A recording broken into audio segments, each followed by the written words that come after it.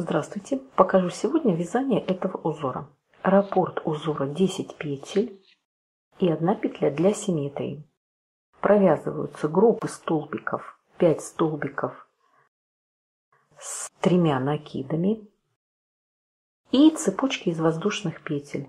Около столбиков по 2 воздушные петли, дальше 3 ряда по 4 воздушные петли. Цепочки прикрепляются столбиками без накида. Столбики провязываются один над другим. Затем рисунок смещается в шахматном порядке. Вот были группы столбиков, теперь они сместились здесь. По краям половина узора. Значит, у нас будет не 5 столбиков, а 3 столбика по краешкам. Можно этот узор уменьшить то есть в высоту вязать раппорт, э, уменьшив на два ряда, допустим, не провязывать три ряда цепочек воздушных петель, а провязывать только два. Получится тогда столбики и один ряд цепочек. Он будет менее ажурный, более плотный, но такие варианты тоже я встречала, тоже выглядит красиво. Начнем вязать по этой схеме. У меня 31 петля. Провязываю одну петлю, эту петлю пропускаю и во вторую от крючка я провязываю столбик без накида. Далее 2, 3, 4 и в пятую я провязываю столбики с тремя накидами. 1, 2, 3, 4. 5 столбиков с двумя накидами.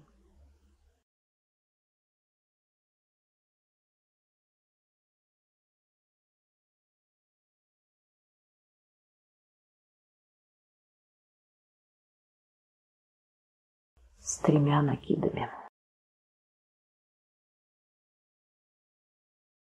Провязала 5 столбиков, снова 2 воздушные петли, Отсчитываю на цепочке 4 петли и в пятую провязываю столбик без накида. Вот здесь. Одна петля после провязывания прячется, она тоже идет в счет. Одна, две, три, четыре. В пятую петлю провязываю столбик без накида. Снова провязываю 2 воздушные петли и все повторяю как здесь, две воздушные петли провязала, пропускаю на цепочке 4 петли, в пятую провязываю группы столбиков, 5 столбиков с тремя накидами. Снова пропускаю 4 петли, в следующую провязываю столбик без накида. Так до конца ряда. В самом конце у нас будет столбик без накида. Ряд довязан. Следующие три ряда вязать одинаково. Это будут цепочки из четырех воздушных петель. Провязываем и столбик без накида над средним из пяти. Снова цепочка, столбик без накида над столбиком между вот этими группами. Получится с двух сторон цепочки. В самом начале и в самом конце по столбику без накида в начале ряда провязываем одну петлю подъема. Так вязать три следующие ряда.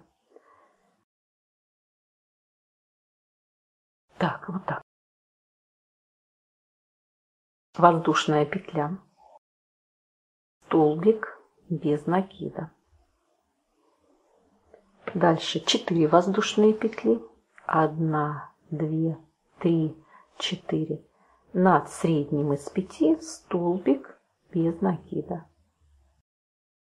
Снова 4 воздушные петли, столбик без накида над столбиком. Напоминаю, так вязать три следующие ряда.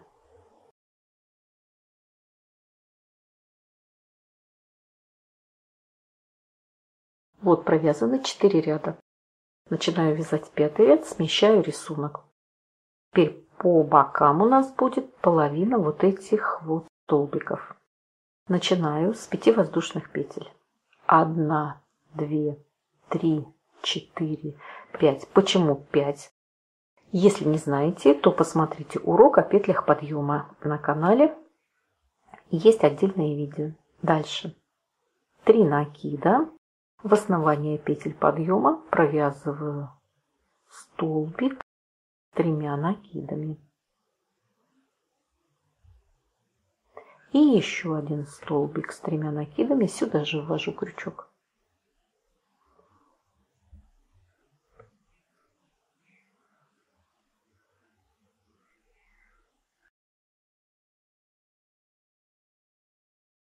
Далее 2 воздушные петли над столбиком без накида столбик,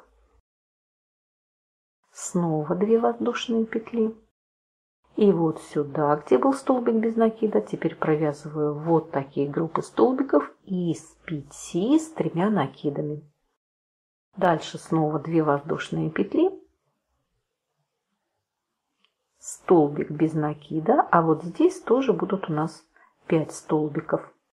В самом конце 3 столбика с тремя накидами, провязанные в одну точку над крайним столбиком слева. Все то же самое, только немного смещается наше вязание.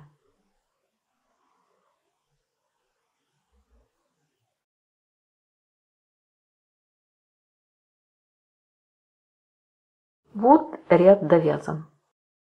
Следующие три ряда вязать цепочки, как вот эти. Только в данном случае э, нужно будет вязать, начиная сразу же с четырех петель, не с двух, как вот здесь, а с четырех.